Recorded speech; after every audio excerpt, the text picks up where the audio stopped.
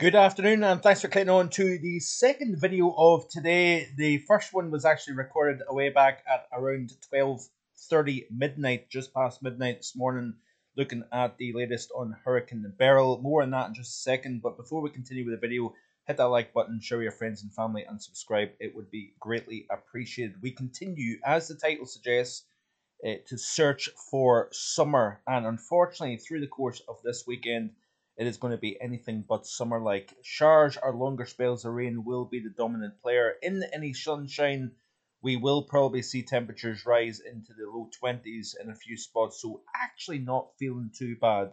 It, uh, it, it could be worse. I know there's plenty of folk out there that are saying, uh, you know, it couldn't be much better, but uh, uh, or it couldn't be much worse, whatever you, way you want to look at it. But certainly, nonetheless, we are um, going to see a, a rather unsettled con- uh, pattern continuing through the course of the weekend, and then there's some optimism as we push into next week that we may slowly start to see things settling down and warming up somewhat. But certainly, the first uh, five days or so of the month has been on the cool side. This follows a below average June overall and a disappointing summer overall as well. Uh, at best, three days of temperatures into the mid to high 20s. That has been really about it during the course of summer so far. Uh, and yesterday we certainly did have a very powerful jet. In fact, uh, I did hear a couple of pilot reports of um, jet stream winds that, that happened to fly within of 178 miles per hour. Uh, I believe it was flying east from Humberside yesterday, and um, you know 178 mile per hour jet at this time of the year is pretty darn impressive for for July but it's all thanks to a lot of heat uh, built up across Iberia and unusually cool conditions uh, over the north and uh, north of the UK that has been driving that strong jet stream. Very, very flat zonal jet stream at that. You can see here that the core of the jet is now starting to exit the UK, and uh, we are going to start to see uh, a little bit of a change taking place as we play through this GFS loop here, you can see that we uh, drop into the, the underneath the trough. The jet actually drops to the south and southeast of the UK, and uh, that is where you start to see the air uh, uh rise. Uh, it's enhanced when you get this dip uh, and this little trough develop, this little kink in the jet. You tend to find that this is where the air tends to pile up and want to go up the way. So that is why we're going to see a lot of showers or longer spells of rain through the course of the weekend. And then as, as we play right the way through uh, into the early portions of next week, we remain to the south of the jet. But what I expect to start to see happening is the trough to then start to kind of pull more towards the west of the UK, and it may allow some heat and humidity across, say, the central region of Europe to then start to lift towards the UK. So we'll monitor this as we go forward. But uh, I want to just uh, quickly touch on Beryl. Uh, it actually re-intensified before it moved on shore during the overnight period in near Tulum in on Quintana Roo. That is the province within Mexico on the east coast of the Yucatan Peninsula. So it re-intensified from a Cat 2 to a Cat 3 hurricane uh, prior to landfall. The last major hurricane to make landfall in Quintana Roo was uh, Hurricane Dean in 2007, uh, which is uh, which is quite interesting. And uh, it actually did make a landfall. It must have re-weakened once again because uh, Phil Klotzbach of CSU says that it made landfall in Quintana Roo. I think it was near Tulum as a Category 2 hurricane, the third Cat 2 plus hurricane on record to make a July landfall in Quintana Roo prior to Beryl. The last Category 2 or above was July uh, of 2005 when Emily moved on shore as a Category 4 hurricane. And this was the scene that we've seen from the Tulum area. This is uh, from Up UK News, and uh, you can see the, uh, the, kind of, the classic kind of landfall heavy some storms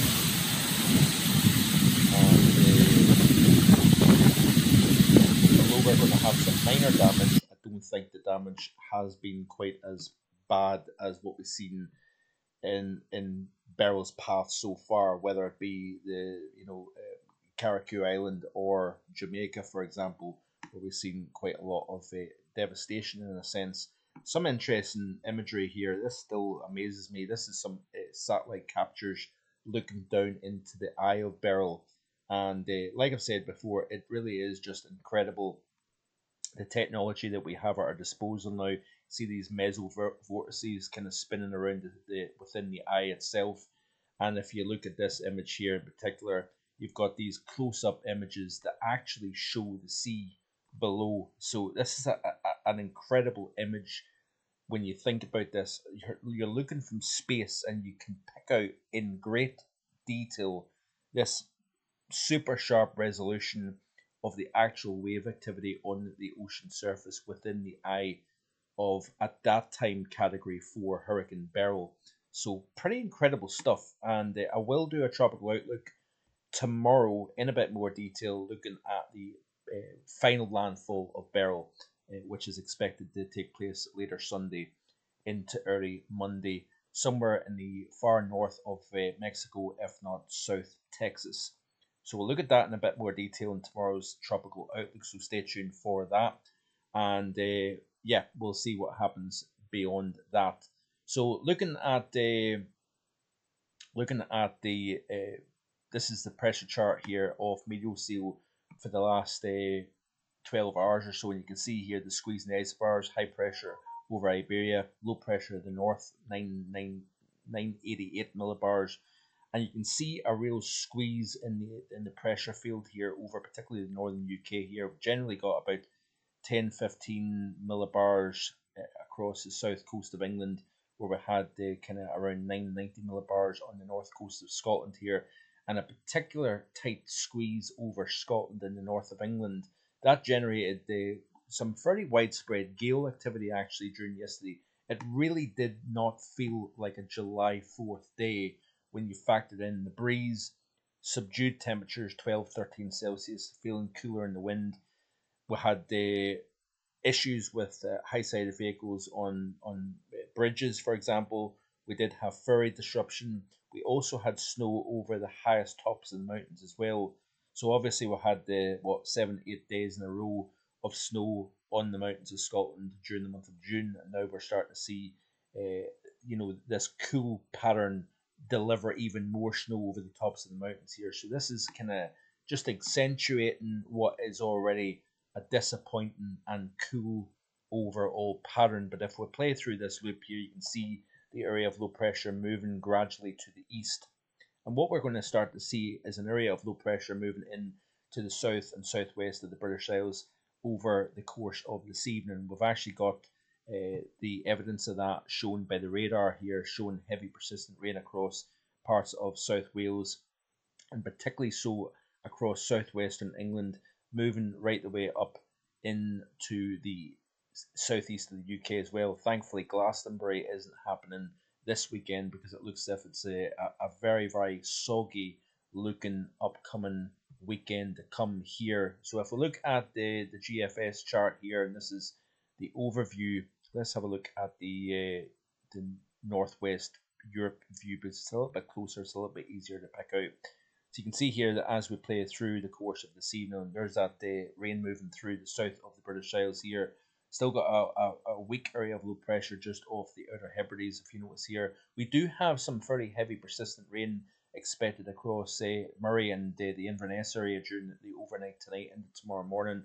Could see a good uh, quarter to a half inch even an inch of rainfall, and even double that actually if we get the winds coming in through the Moray Firth and into some of these um, these kind of areas where you've got the geography that the wind and the moisture naturally funnels through, and you can actually pick up uh, much bigger rainfall totals. If we actually look, the, the resolution in the GFS is never as good as the, the ECMWF, so actually we'll look at the, the ECM model instead here and show you the details. So that actual that feature that moves into the south of uh, the UK during the course of this evening and overnight will bring a rather soggy Friday into Saturday morning, and it actually develops this low. So obviously I showed you the jet digging south. We've got this little dip in the jet representing a trough, and there, therefore it's actually allowing an area of low pressure to pop within that uh, trough here. So what is going to happen is this is really going to just kind of set the tone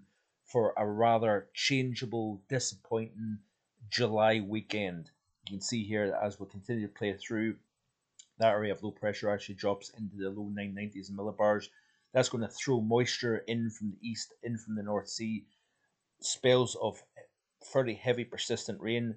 Shower activity is going to be the case as well because we've got relatively cold air in the mid and upper levels of the atmosphere as well. So lots of instability, cooler air aloft, relatively warm air at the surface. That then just kind of uh, enhances the instability already present within the atmosphere. You can see here fairly heavy, persistent rain moving in to the uh, to the Moray Firth, the Cromarty Firth, the Dornoch Firth as well. We could see some fairly heavy and persistent rain as that um, east to northeasterly flow kind of picks up pace. But this is uh, 12 UTC tomorrow. Very, very messy picture across the UK and Ireland. Still messy across the heart of Europe. If you notice here, they've just simply not had much of a break from the disturbed weather that has been the case for quite some time. Things settle down as we progress into tomorrow evening and uh, overnight, and then during the course of third uh, Sunday, sorry, we reignite these showers with the daytime heating coming into play. We will see some very lively shower activity, thunder, thunderstorms likely as well developing within that unstable air. We've got the strong incoming solar radiation as well, and with cooler aloft and low pressure, you then see widespread showers developing late morning and through the, the afternoon hours. So it looks as if we are going to see a very, very messy overall weekend to come. Then, as we move into the early portions of the new working week, we've got another system moving in from the southwest. But then there is some subtle changes taking place. Yes, we've got more in the way of rain to speak about during Monday into Tuesday here of next week. That band kind of lifts its way north, seen by the ECMWF. Shower activity on the back side of that, but you notice the changes now starting to show up. Areas of low pressure coming in from a southwesterly direction, then lifting that energy northwards. Obviously, you've got some warmer over Central Europe with that low position here to the west southwest of the British Isles. We're then going to draw some of this warm, humid air into the pattern and at the very, very least, yes, it's still unsettled, but at the very least, we're warming things up from the 12s and 13s in the north yesterday, upper teens yesterday uh, across the south. We're at least going to see something a little bit more July feeling like, even though it's not necessarily going to feel that way because of the rain uh, and whatnot. Less in the way of wind as well during the course of the weekend, so some of these showers will be slow moving they will likely drop quite a lot of rain in a fairly short space of time if there's no wind to blow these showers through a given area. So we need to keep that in mind as well. We could see some fairly significant rainfall totals. So let's go back out to the bigger picture and I'll show you here the 850 temperature profile of the model. Um, and you can see here that uh, we've got the cooler in place at the moment, continue to draw that polar maritime air in from the northwest. There's that heat across Iberia bringing big contrast between the UK and Spain and Portugal here. We've seen low 40s yesterday afternoon, probably the same again today. And notice here that as that area of low pressure peels away to the east here during the early hours of Sunday, we're actually going to try and reinforce some of that chilly air coming in from a northerly direction here. And then it's as we move into the early portions of next week, this is the change. The position of the low dipping south here to the well to the west southwest of the UK and Ireland as these areas of low pressure. Once you start to shift the trough west, then you're seeing the the orientation change in the in the both the surface and the upper levels of the atmosphere. These areas of low pressure then start to swing down into the base of the trough and then get pulled north northeastwards into the UK. Like I said, still unsettled, but look at the warmer now starting to get closer and closer to the UK here, thanks to the realignment of the upper air pattern here. And then as we continue to play through, it looks as if we're going to see much the same.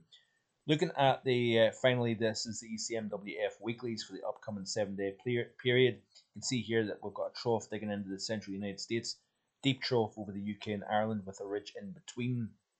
If we skip out to the days 7 through 14, you can actually see a change, quite a, a big change. We've lost that deep trough over the UK and Ireland here we're starting to see that ridge now starting to kind of bridge between North America and Europe here. We do have a weakness, you notice here to the southwest of uh, UK and Ireland, hence the areas of low pressure kind of to the southwest position.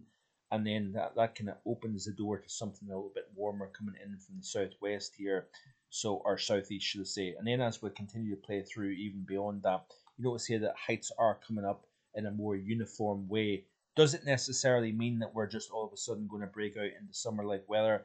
That remains to be seen. If we look at the, the Europe view for the same time frame, and let's have a look at the uh, the temperature anomalies here for that uh, period and you can see that we have got again nothing overly warm to write home about despite the fact that we're raising the heights here we're likely to start to see something drier taking place as well if we go back to the the current upcoming seven days it's firmly below average skip out to the 7 to 14 day and generally what you you would say here is you're get you're losing some of that deep chill but it still remains average to slightly below average. So this is the period out to the 18th of July.